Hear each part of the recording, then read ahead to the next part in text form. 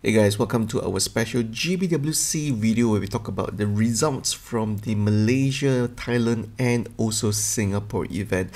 This is going to be a long video, it's not going to be our usual short video as I try to process as much as I can as what happened over the last few weekends from the GBWC in those three countries. Now this video was supposed to be released last week but I really needed time to process the results from the winners of all three countries and again re-looking back into all the entries and given that I had the opportunity to visit Singapore and also look at the Malaysia entries it was really quite interesting to see what was available and what was presented by all the Gunpla builders in both countries and of course looking through the all the entries from GBWC Thailand as well. It was quite interesting to see the contrast between the build, the concept, and also the overall finishing and technique that's been presented in all three countries. Now, given that this is going to be a long video, well, you could try to try and listen to me as I do this like a podcast video as you build, or just turn off the audio completely and just play your own music as you go through all the beautiful entries from all three countries right now. Now, before we talk about GBWC Singapore, I just want to say a very big thank you to all of you who are tuning in. And if you like what you see, hey, please subscribe and give me a like. You know, it will really help our small little channel. And of course, I would love to hear you guys sound off as well in terms of what you think of the overall results in GBWC Malaysia, Singapore, and Thailand. Now, let's talk about GBWC Singapore, right? I was lucky enough to visit Singapore at the time of the event on the last day itself. One thing that I noticed was the entire venue of GBWC Singapore was a lot smaller than I expected. It was half the size of the GBWC Expo as what I usually see in Malaysia, so that was a big surprise to me. Expo kits were plenty, but the space to actually look through all the kits that you can actually buy, the special deals, it was a little bit tough because it was situated right next to the exhibition of the entries from all the GBWC contestants. So imagine trying to look through some kits to buy while people are bumping into you. It's quite a not pleasant experience. So yeah, so if you're gonna buy some kits in GBWC Singapore, you really have to make up your mind very quickly and know what you actually want. One other quite interesting observation was there aren't as many entries as compared to GBWC Malaysia and Singapore. So from what I've heard on the chatter on the social media platforms, there were actually quite a lot of entries that has been disqualified because they were using third-party decals, third-party stands, third-party parts, you know, they doesn't fit the Gundam team. So there were actually quite a lot entries that's been disqualified and I know quite a lot of Singapore builders are not very happy. So yeah, there aren't really that many entries to really look through it in GBWC Singapore as well. But one thing that I do really love and what I think the exhibitors or the sponsors got right for this particular event is the showcase. Somehow GBWC Singapore, they really got the lighting right. It is not too bright, but it's just enough light to showcase all the beautiful works from the GBWC Singapore contestants. So I wish all GBWC entries and display cabinets across Southeast Asia will be able to follow the same way they light the display case as what you see in Singapore, right?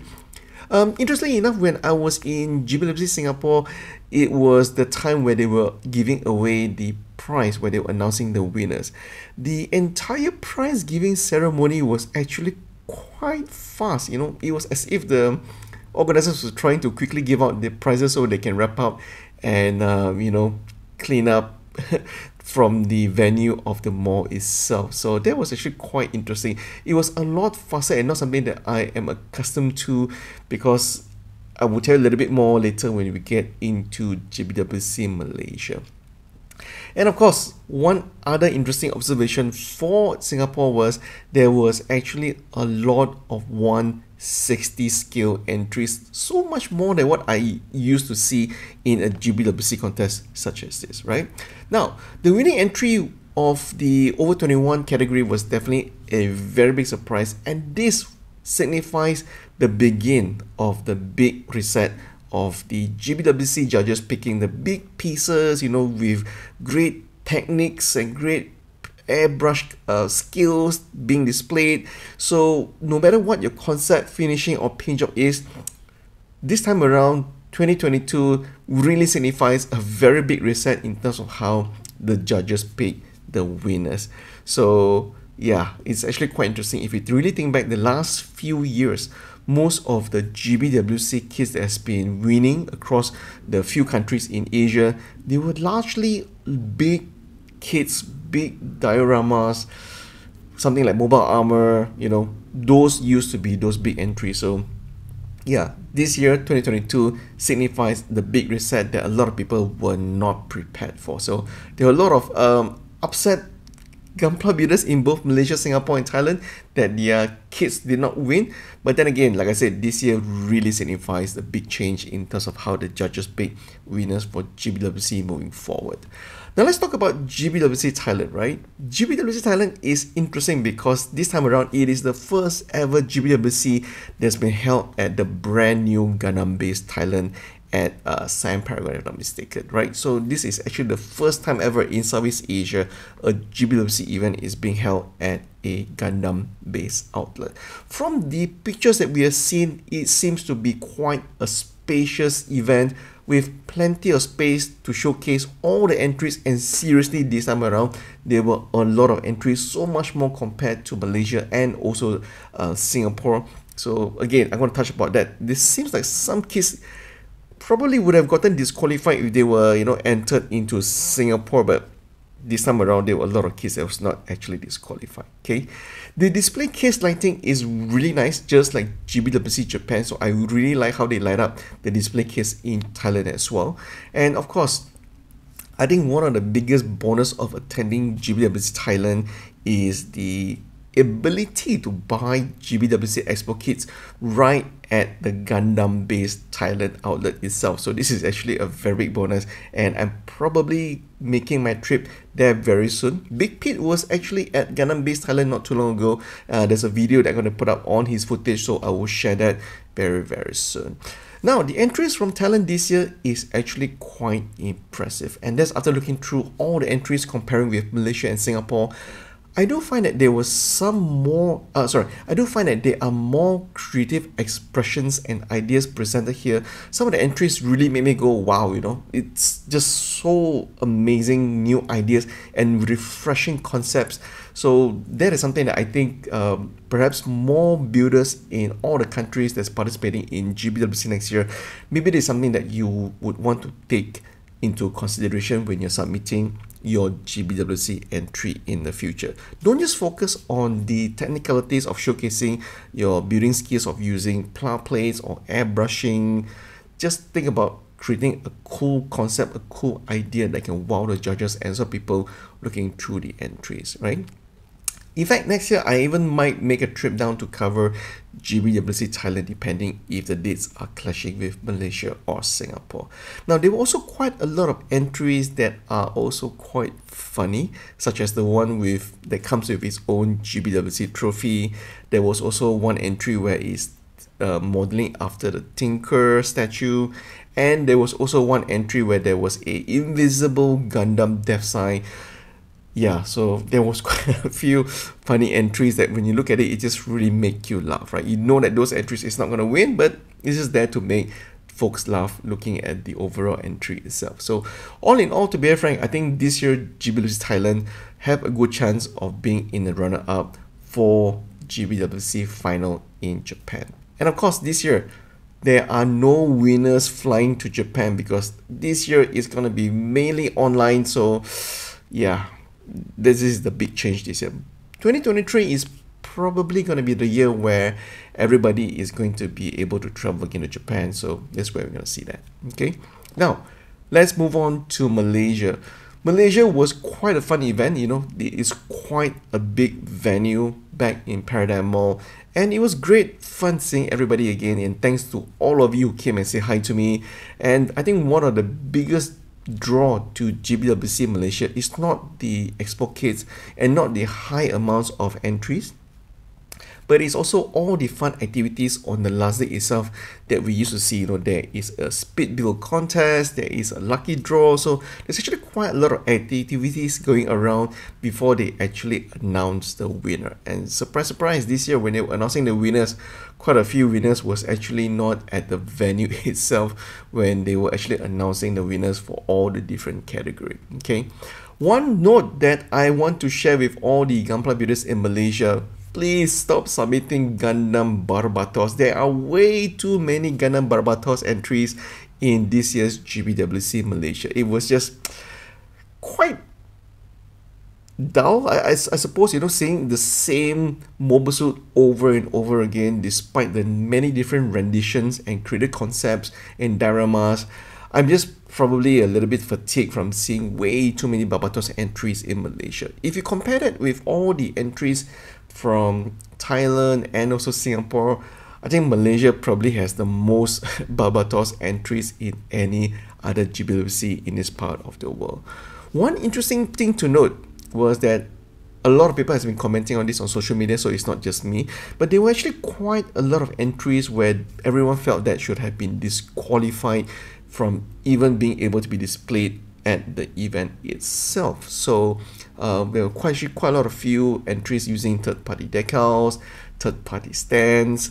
So yeah, it's give and take, I suppose. I I'm not too sure how the judges decide what kids are disqualified and whatnot. But then again, if you look at the entries that's been disqualified in different parts of the world where GBWC is held, it does seem that there is no hard and fast rule where they say certain kits can be displayed even though they are using third party display kits. I guess this time around the organizers in Malaysia just wanted to showcase a lot more entries to encourage the builders, you know, young and old, to give them the chance to display their work. Yeah, so that's that's actually quite an interesting part, right? Uh, there was actually quite an interesting thing about the winners. Obviously, the winners in Malaysia. Wow, again, if you remember, I made a video on my predictions of who would win in GBWC Malaysia, the first top three runner up. Everything was totally wrong.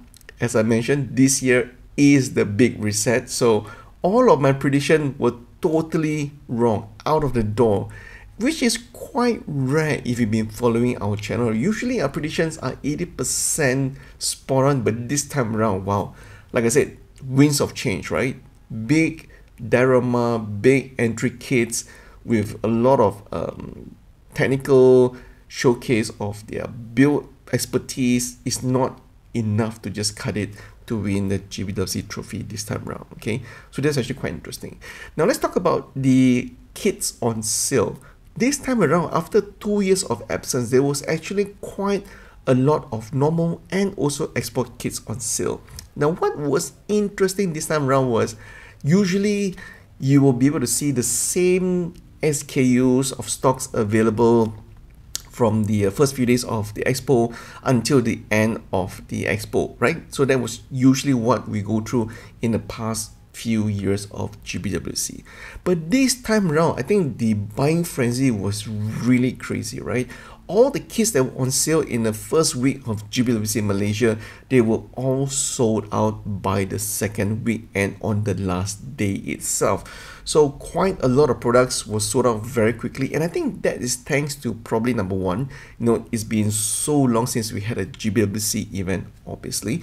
And secondly, I think the organizers really went down and gave really great value on some of the older expo kits which to be frank is really really cheap it's even better than buying from the scalpers and everybody was just snapping up thousands and thousands worth of products on the day itself.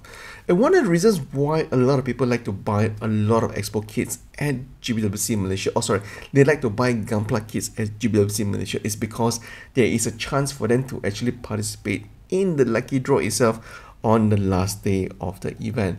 So that is one thing that actually uh, drive the purchase behavior of a lot of people at GBWC Malaysia.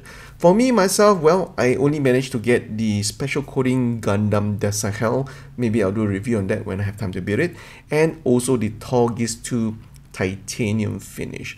Unfortunately, there were a lot of expo kits that I wanted to buy, such as the real grade uh, clear crossbone, real grade Gundam wing as well.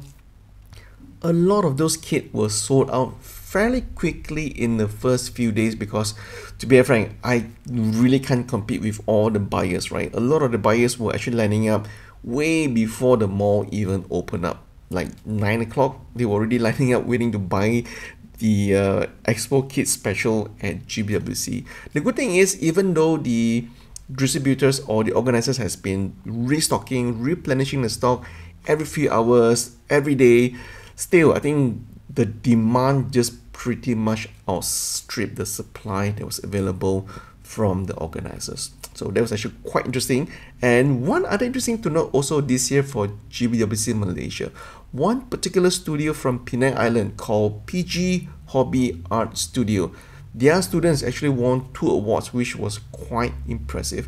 One of the entries um, showcased a very nice looking, I can't remember that mobile off my head, but it has a very nice airbrush and um, color coating and overall finishing onto that particular kit. That was actually a very nice kit that I really like and I'm glad that guy actually uh, got a placement in that particular category.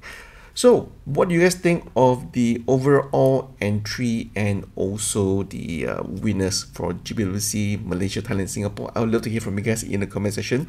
But some parting words from me and also some of the experienced builders, right? I think number one, with the big reset happening this year in 2022 across Malaysia, Singapore, and Thailand, I think we should not take out the hate on the winners, right? Because there were so many entries. I think everybody was just submitting for fun, you know, trying to see their luck if they can win. So don't hate on the winners because they did not get a chance to say whether they're gonna win, right? The winners were decided by the judges. And if you look at the judges um how do I say this? If you look at the judges' decision on why they picked the winners in these few countries, I think perhaps that pretty much uh, solidified the winds of change of going back to the essence of Gundam, right? So they are now looking for people who are going to be submitting entries that is not just gigantic, monstrous, but really something simple that showcases what Gundam and Gunpla is all about. And of course, this year, with no travel to Japan, the winners pretty much don't get anything except the trophy and the winner's uh, special smoke clear RS-2 high grade kit and some other prizes from the local organizers across the region. So that's actually quite interesting um, this year. This year's the big of change really shocked a lot of the old timers. Um, so much so that there was actually one particular builder, I believe he's from Indonesia, where he's saying that look, what is so wrong about submitting an entry into GBWC with the aim of winning, right? Not everybody wants to enter GBWC just for the sake of having fun because there's actually a lot of time, a lot of money, and a lot of effort being put into creating those work of arts into GBWC. and I can see where that particular chap is coming from right? Obviously a lot of um, the old timers especially where they buy a lot of materials a lot of pla plates some of them even go as far as putting in special LED lights doing the wiring um, cr creating special uh, dioramas. Those actually takes a lot of time effort and of course money right? Mon time is probably the biggest resource that you can use to go into creating your GBWC entry. So I think there's no right or wrong, I suppose, you know, if you are planning to enter GBWC just to have fun, showcase your work and learn from people, meet some new friends, that's fine. But if you really think that, hey, I want to enter GBWC just to win and I'm going to be sore about it if I don't, well, dude, that's pretty much your call and uh, there's nothing much anybody else can do to help you out on that right? There's no right or wrong. I think everybody do what they want. Gunpla is freedom. But looking at the gbwc champion and also so far the finalists of the final round of gbwc japan i do think that this year gbwc japan is going to be uh, sorry gbwc finalists in japan probably champion is going to be Japan again looking at the entry so far. Um, very very complex and impressive build. But then again this year with the big reset the big winds of change we may not be able to predict who's going to be winning the trophy this year. Uh, there were also some very strong entries from China as well, especially the uh, under 20 category. That particular entry was quite impressive. So look out for China as future GBWC champ in the next few years when that particular champ uh, starts to grow and build his entry from scratch to showcase for uh, representing China as well. But all in all, this year I think um, yeah, you know, it's been a crazy year. It's already November. We we are coming to close of 2022 already.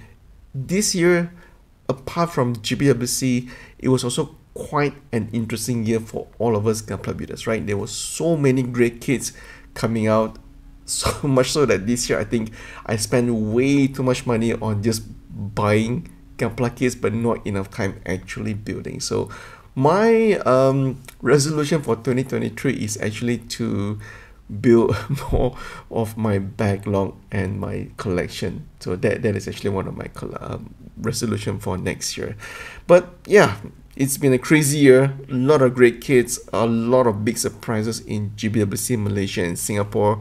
So I'm glad that you guys have been staying on with this channel, following us for all the latest Gunpla news and coverage as well. We will do a lot more video on um, Gunpla tour of Gunpla shops and also Gunpla events in the future. So do stay tuned. There's going to be a lot more new video style coming up from our channel and yeah a big thank you to Big Pete for taking all the pictures at GBWC Malaysia this time around taking pictures at GBWC Malaysia was a very big challenge so I'm gonna go back to GBWC Malaysia for a little bit here that is because the lighting in GBWC Malaysia display case was way way too bright. There was a very big fluorescent light hitting the um, display case from the bottom and also a very big spotlight from the top. So with those two from the top and bottom and also the bottom light hitting the, um, the back of the display case reflecting back into the lenses of the camera wow. As you can see a lot of the pictures in GBWC in Malaysia was a little bit overexposed we spent a lot of time trying to color correct so what you see here in the pictures and videos for GBWC Malaysia is not 100% accurate. The colors could be a little bit uh, deeper and darker as well. But then again, overall, I hope next year GBWC Malaysia would maybe follow how Thailand and Singapore actually lights up their display case. Uh, one other thing that I noticed from Malaysia versus Singapore was I do find that the display case in Singapore GBWC was a lot cleaner. There aren't a lot of uh, smudges from fingerprints, you know, people pointing to the entries, looking through the intricate build details. But Malaysia, the display case was a little bit, uh, could be a lot cleaner, I suppose. Yeah, so that, that's something that I look forward to next year. I do hope that next year GBWC in Malaysia, perhaps we can maybe, uh, if the organizers could do it in a place where it's a little bit more nearer to the city instead of Paradigm Mall. Paradigm Mall is a little bit out of the way for quite a few of us. So who knows, right? Maybe next year GBWC Malaysia could be in some place a little bit more central and accessible for all of us. So yeah, I think probably you have enough listening to me talking all this while. I'm gonna keep quiet for a little bit and I will let you guys see through the rest of the video.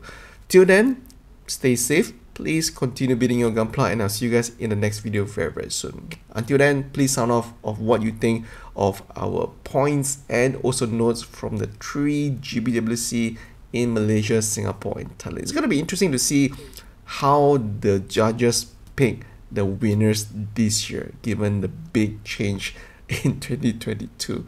Okay, till then, thanks for watching and listening to me ramble on for 25 minutes. It was great seeing you guys again in Singapore and also in Malaysia. So hopefully next year I'll be in Thailand as well. Thank you guys for watching.